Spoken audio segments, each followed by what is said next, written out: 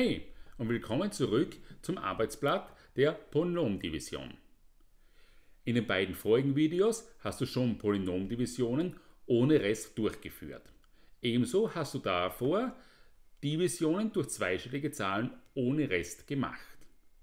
In diesem Video ist es unser Ziel, dass du eine Zahl durch eine zweistellige Zahl mit Rest dividierst. Dies ist nämlich auch dann die Grundlage für die Polynomdivision mit Rest. Wir werden das wieder anhand eines praktischen Beispiels machen. Stell dir vor, du möchtest 555 Euro fair auf 12 Personen aufteilen. Nimm dir doch einen Zettel zur Hand und probiere diese Division nun selbst. Pausiere dafür kurz das Video.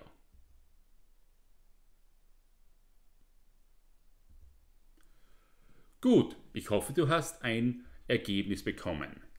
Wir werden dieses, diese Division nun aber so machen, wie wir es als Grundlage für die Polynomdivision benötigen.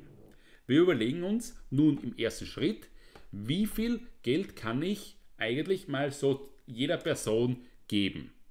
Wenn wir nämlich betrachten, 55 und 12. Wie oft geht 12 und 55? Naja, viermal.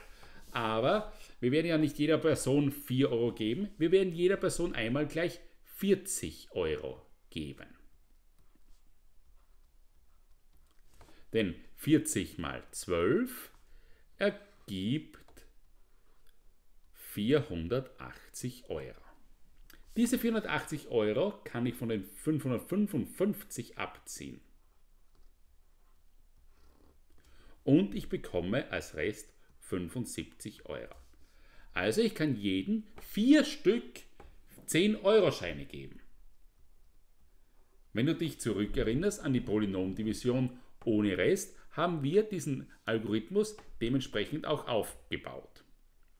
Okay, wie oft geht nun 12 in 75? Ja, da muss man schon ein bisschen mathematisch Kopf rechnen können.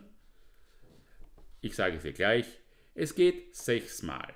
Wenn ich nun nämlich jeden weiteres 6 Euro gebe, also die 6 mal 12 multipliziere, erhalte ich 72 Euro, die ich einfach abziehe.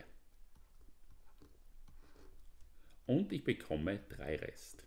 Also jede Person bekommt mal 40 Euro, also 4 mal 10 Euro und weitere 6 Euro also 16 Euro Stücke oder einen 5 Euro Schein plus einen weiteren. Aber was ist nun mit diesen 3 Euro Rest, die ich auf 12 Personen aufteile? Hier gleich ein Vorblick. Bei der Polynomdivision mit Rest schreibt man dann einfach hinten plus den Rest über einen Bruchstrich dividiert durch das Polynom, durch das wir dividieren. 12. Bei der Polynomdivision mit Rest wären wir hier fertig. Jedoch wir tun hier noch numerisch dividieren.